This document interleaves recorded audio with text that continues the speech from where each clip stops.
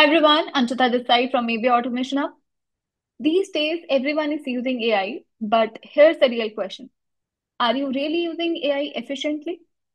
Everyone is talking about ChatGPT, Gemini, Claude, but here's the truth. If you don't ask the right question, you will not get the right answers. And that's where most of the people go wrong. They use AI, but they don't know how to prompt it properly. Now we know not everyone is a prompt engineer, and that's totally okay. If you are struggling to write good prompts or you just want to level up, then this video is definitely for you. Today, I'm going to share five free AI prompt generator websites that will help you generate better AI prompts instantly. No fancy skills required. Just navigate to this website and get powerful results instantly. So let's get started. The first one in the list is Prompt Perfect. It is AI prompt optimizer website where you can generate your prompt and optimize it. So this is the official website of Prompt Perfect. Next in the list is originality.ai.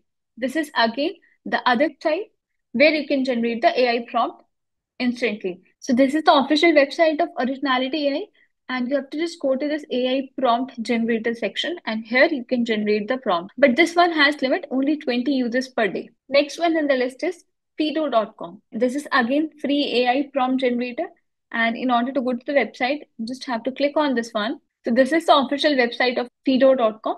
And here you can generate your prompt free of cost. There are quick suggestions. Next one is generate prompt AI.